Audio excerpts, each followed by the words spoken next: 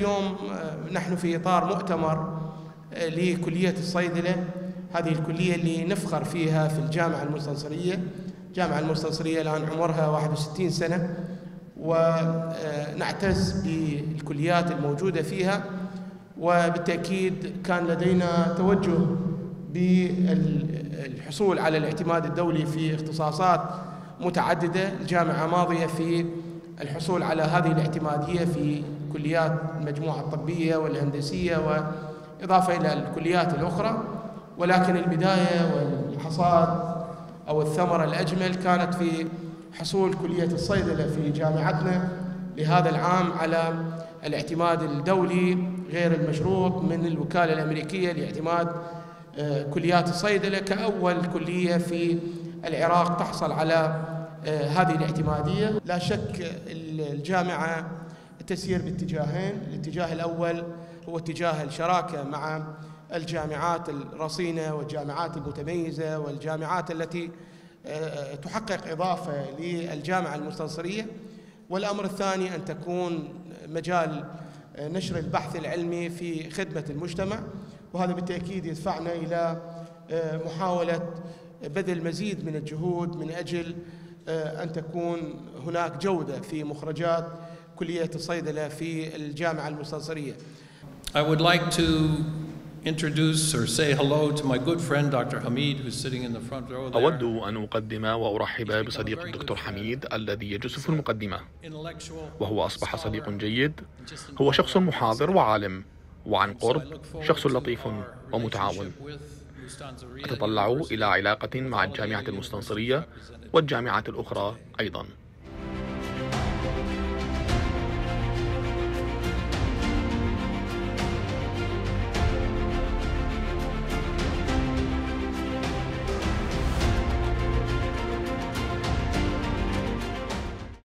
انعقاد مؤتمر كليتنا الدولي الخامس والثالث مع كلية الصيدلة الجامعة الأمريكية في صباح هذا اليوم من عام 2024 الذي جاء بعنوان نحو مستقبل أفضل للصيدلة من خلال البحث والتطبيق والتقنية.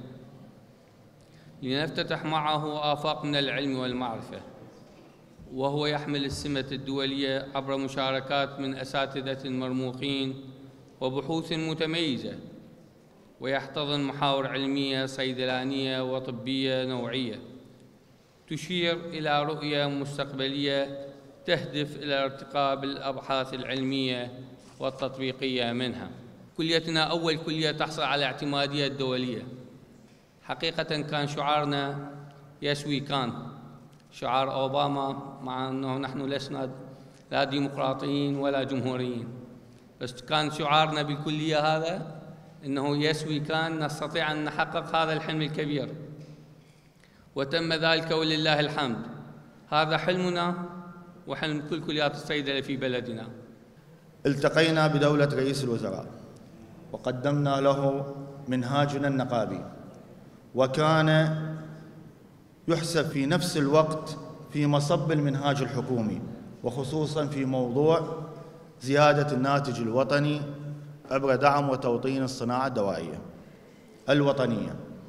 وبفضل الله وتوفيقه. ودعم دولة رئيس الوزراء. حصلت الموافقة على طلب نقابة الصيادلة على تخصيص قطع أراضي لإنشاء مدن صناعية. دوائية في بغداد والمحافظات. وهذا إنجاز حقيقي يحسب لصيادلة العراق. وكذلك وخلال لقائنا مع وزير الصحة وبفضل الله وتوفيقه حصلت الموافقة على تعيين صيدلي لكل خط إنتاجي في المصانع الدوائية الوطنية. وهذا أيضا يعتبر إنجاز لصيادلة العراق.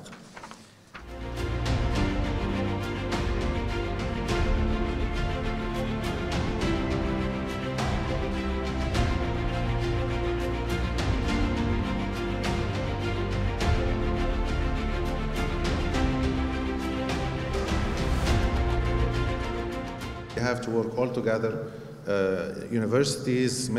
يجب علينا أن نعمل سويا جامعات ووزارات والنقابة لكي نتأكدوا من إيجاد مستقبل مشرق لمهنة الصيدلة في العراق المنطقة والعالم.